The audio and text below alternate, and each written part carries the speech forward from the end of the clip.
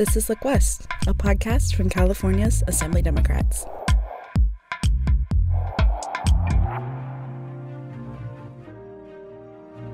Hi, thanks for clicking on the Look West podcast. I'm Alexis Manzanilla with part two of our visit with new members of the Assembly Democratic Caucus.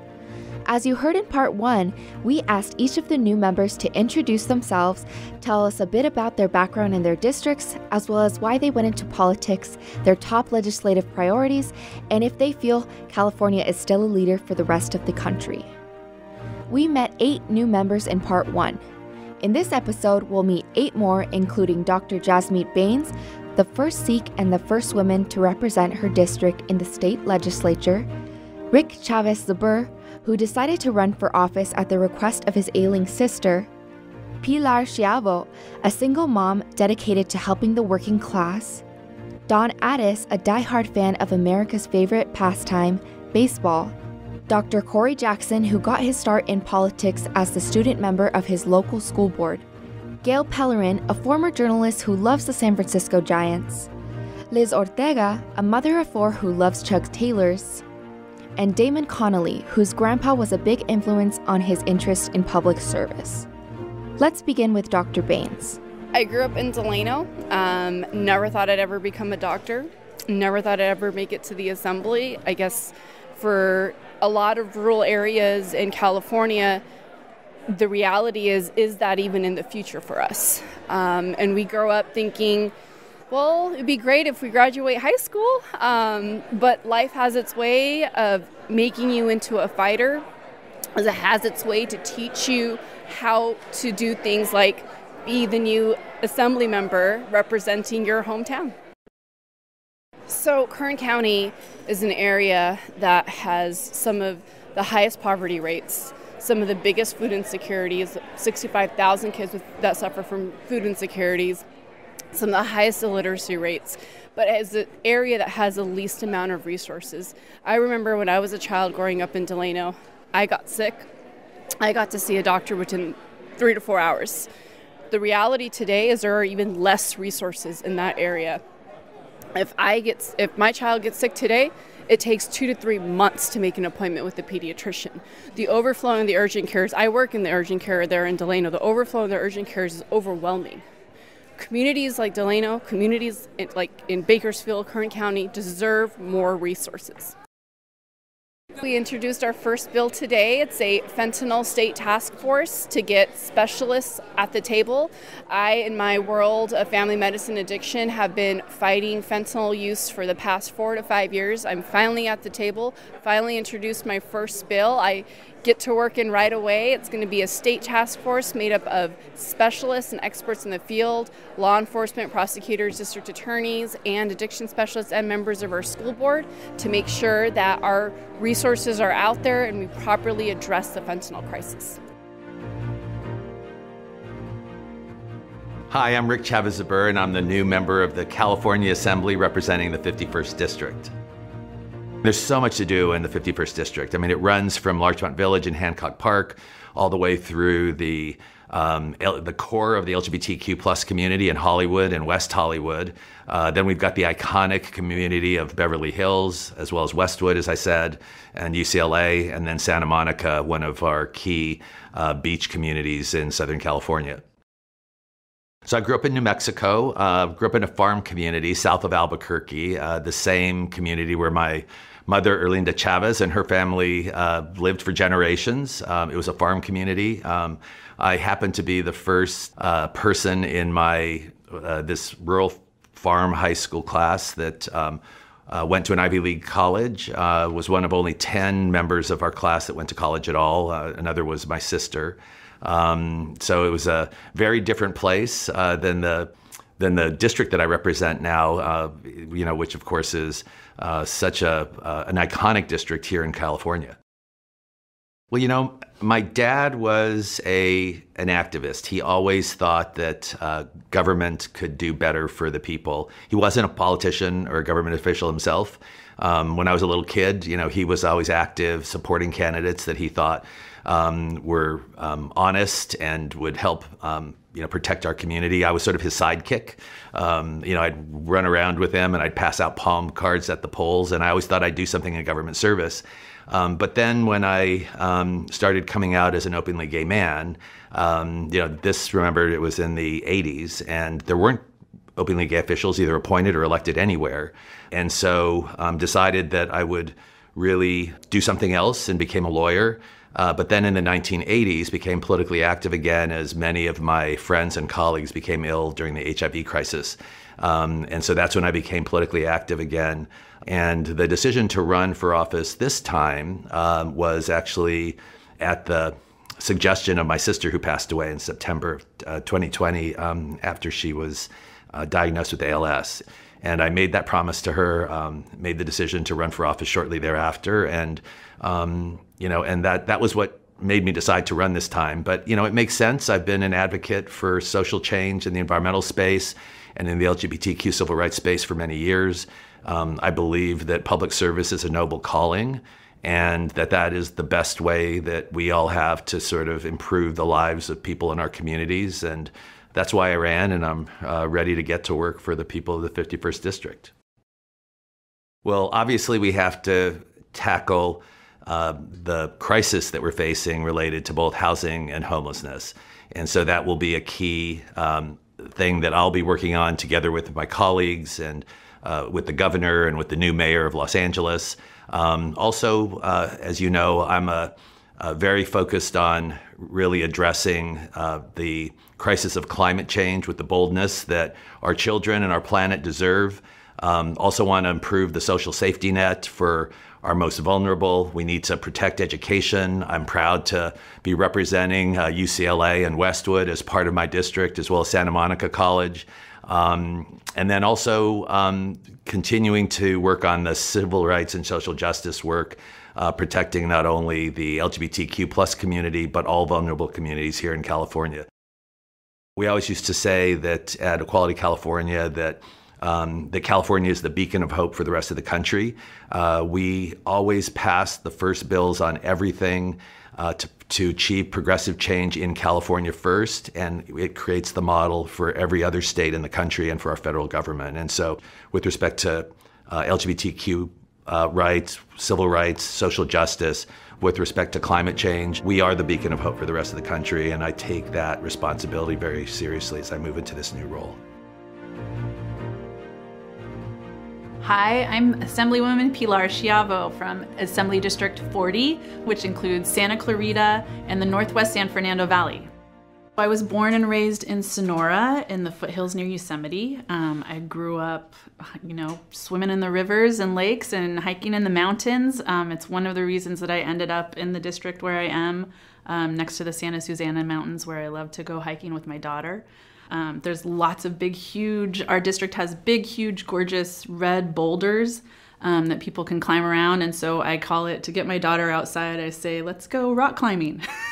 we go jump around on some rocks, and it's also hiking. Um, but she has a really good time doing that too. So uh, I went to Sonoma State University uh, as an undergrad in, in American Multicultural Studies uh, and then went to UMass Amherst for graduate school in labor studies and have been working for 20 years in the labor movement, um, organizing around good jobs, you know, benefits that people can depend on, retirement security, and um, you know, growing up in a family that struggled, I wanted to make sure that we're fighting for people to make sure they can keep a roof over their head and provide for their families and have a good life. So, you know, growing up, my family really struggled. My dad was a logger when I was younger. My mom uh, waited tables, and um, and then my dad got cancer uh, from Agent Orange in Vietnam. He worked on the planes that actually patched the bullet holes, or you know, from the, the from the planes that sprayed Agent Orange, and so he would be drenched sometimes in Agent Orange. Um, fortunately, with the VA, he was able to um, get the treatment he needed. But we didn't have health care. And um, and then he couldn't do that work of logging anymore, and so transitioned to being an electrician. And he and my mom had a small business, um, but it was during the recession of the early '90s in a small town, and so it was a very hard time to start a business. And so, you know, I remember lots of stressful conversations around the dinner table about whether or not he was going to get a job. Um, or had to bid low enough that he wouldn't make any money on a job just to get it. And so, um, you know, so we really, um, it really always felt unfair to me that my parents worked so hard and didn't have a lot to show for it. And so that drove me to, to be in the labor movement, to fight for workers. Um, it's a very deep commitment of mine. I felt like our district really wasn't being represented in a way that could really, uh, the district could, really could reap all of the benefits of the power of this office of the assembly and just saw change that needed to happen and being on the front lines of issues like homelessness um, that are impacting our community and seeing how broken the system was around solving that issue um, and making sure that you know we find real solutions and not just band-aids it, it, it pushed me over the, the top to run for office. And i actually had to quit my job to run. Um, so it was very scary as a single mom to do that.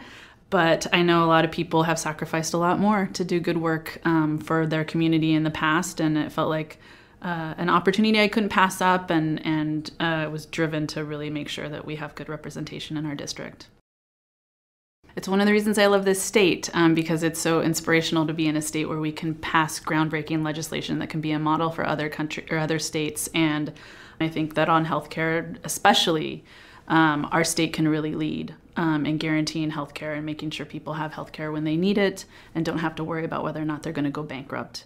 Um, so, you know, that's something I'm very passionate about, something I really want to fight for, and something I think California is in a perfect position to be a national leader on. Well, hello, Central Coast. I'm Dawn Addis, your Assembly member for Assembly District 30. That starts at the Santa Cruz Harbor and goes down to the southern San Luis Obispo County line. Uh, so we've got 200 miles of coastline, and I'm incredibly honored to serve you. I grew up in a small town coastal community in the uh, in the San Francisco Bay Area, but we've lived in the district since 2001. Raised our kids there. Have been a school teacher and educational program developer for over 20 years there. So um, entering the assembly is the first time that I'm stepping away from that career, but also bringing the voice of educators with me to the state legislature. I came into politics really to serve the local community. Um, I was first, well, I founded and led the Women's March in, you know, 2016, 2017. And that was incredibly popular. We had 10,000 people come out in San Luis Obispo. I was recognized by uh, Congressman Salud Carbajal at the time, who invited me to President Trump's first State of the Union address, and that was very, very eye opening and inspired me to come back home and get involved in a different way. I had done campaign work on the you know volunteer side of things, door knocking, phone banking, um, but decided to get involved with my own city. We had a number of issues there, including uh, housing issues, water access issues, climate issues that our city is facing as a coastal community. It's incredibly important to me and to the voters, the residents, and the visitors of the Central Coast of Assembly District 30 that we work to protect our coast, that we work to combat the climate crisis, that we increase housing, um, that we support folks with mental health needs in the entire community, that we solve homelessness, uh, and that we improve education. There's no shortage of issues, and I'm ready to get to work. California has uh, brave and bold new climate goals, but also action plans, I think, are uh, formulating and paired with those goals. We've been a leader when it comes to reproductive justice and reproductive care in terms of access to abortion.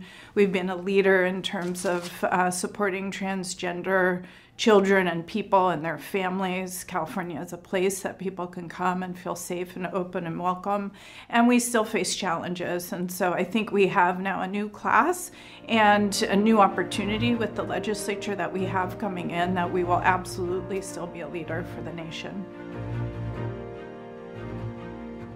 Hello, everyone. My name is Dr. Corey Jackson, and it's my honor to serve you in the state legislature to represent the 60th Assembly District. Uh, very excited to make sure that we can serve the people of Moreno Valley, Perris, Hemet, and San Jacinto. I was born in South Central LA, but my parents moved us out to the Inland Empire. And so I grew up in a little city named uh, Rialto. So I grew up in Rialto and I was there from third grade until I was 30.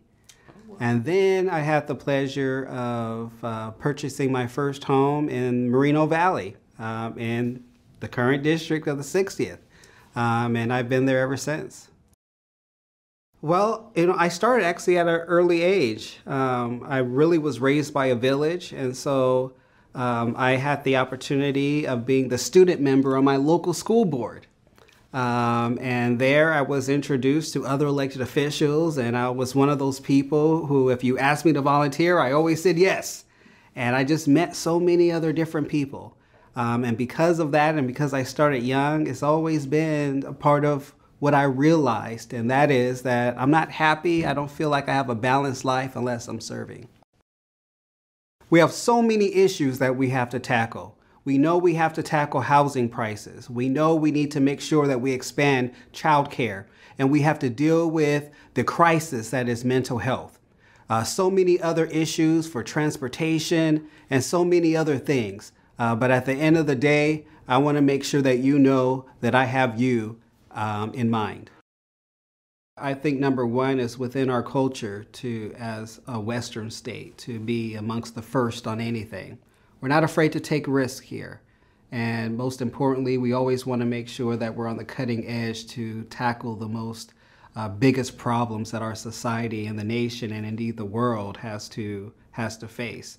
Um, and so if you want good ideas, if you want opportunities to see how things can be done, um, especially if you're one of those look back and see what happens first kind of folks. Um, continue to look for California because uh, you're, you'll continually see some big and new things coming your way.